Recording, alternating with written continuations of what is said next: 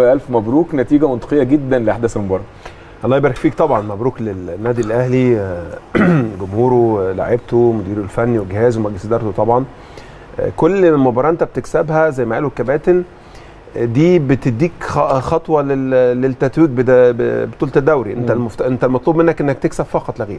مش مطلوب منك تن- تنتظر لا نتائج الخصم لأن صح. أنت اوريدي خلاص أنت نت- مبارياتك لو كسبتها كلها أنت هتتفوق على الخصم بفرق نقطتين. فالمطلوب منك إن أنت كل مباراة بالنسبة لك هي كؤوس. مباراه بالظبط هي مباراة كؤوس يعني مباراة للتتويج ببطولة الدوري العام أم، كان الحديث يمكن قبل في في بداية الاستوديو إن إحنا ال- ال- الدوري العام وبطولة إفريقيا وهل ده ممكن يشغل عندها هل هل ممكن الأمور تبقى فيها فيها مشكلة بالنسبة لعيبه النادي الأهلي على على التركيز أيوة. تركيزك في الدوري أنا أعتقد وكلنا عارفين وكلنا لعبنا الحمد لله في النادي الأهلي وخدنا بطولات كتير إن النادي الأهلي لعيبته ومديرينه الفنيين بيقدروا يفصلوا يا كابتن. بتقدر تفصل من من بطولة دوري عام لبطولة إفريقيا وحصل كتير دي جدا وجهة جدا نظر. جدا. آه طبعا. دي وجهة نظر أنا كمان يعني إنك أنت النهارده بتخرج من بطولة بتدخل في بطولة تانية. ممكن أول 10 دقائق بتسرح شوية ما بتدخلش في الأجواء لكن في بعد كده أنت خلاص بتاعي إن دي مباراة آه، مهمة بالنسبة لك. الأفضل ال- أو اللي بيخليك تعمل كده إيه؟ إن أنت النادي الأهلي آه، اتعود دايما صح. إنه كل مباراة عايز يكسبها. فمش هتفرق معايا بقى إذا كانت بطولة دوري عام بطولة كأس مصر بطولة إفريقيا ماتش ودي أي مباراة حتى لو بنلعب ماتش خماسي مش هتفرق معانا صح. الفكرة كلها إن أنت أهدافك كلها هي على المكسب سواء في أي بطولة بتلعبها فحته التغيير من بطولة لبطولة ما بتفرقش مع لعيبة النادي الأهلي كتير صح. يعني. لأنك أنت الهدف بالنسبة لك في كل مباراه بتلعبها المكسب الأهلي الشوط الثاني يمكن الحقيقة يعني يعني خل ورانا شكل المقاولين العرب تمام؟ وقد إيه الكورة بتاعه المقاولين العرب النهارده يمكن وطريقة لعبهم هي كانت يعني طريقة لعب قديمة شويتين ثلاثة يعني بلغة الكورة يعني فاهم؟ أنا بتكلم جد على فكرة قديم. الكابتن علاء قال حاجة مهمة جدا. قال دايما المدير الفني اللي بيلعب ب... ب... زون بيبقى عنده استراتيجية مهمة جدا في ال... في الهجوم. يعني أنا النهارده بلعب زون Zone آه، zone defense يعني عندي استراتيجية عندي مثلا اثنين بيلعبوا بيهاجموا عندي خطورة مظبوط. يبقى ليك خطورة مرتين ثلاثة على الأقل في الشوط ال- الأول المفترض يعني طالما أنت بتلعب مثلا بالعشرة أو مظبوط، بتلعب. بتسعه مدافعين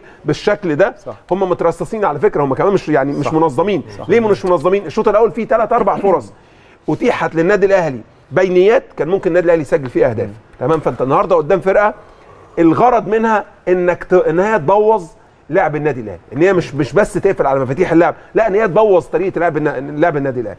الشوط الثاني زي ما قالوا الكباتن التحركات السريعة الكرات البينية الك- الكرات العرضية اللي اتلعبت التغييرات الجيدة من موسيماني النهارده طريقة لعب النهارده بنشوف الراجل ابتدى بقى يبقى يعني يخش في, في الأجواء الحقيقية بتاعة الدوري العام.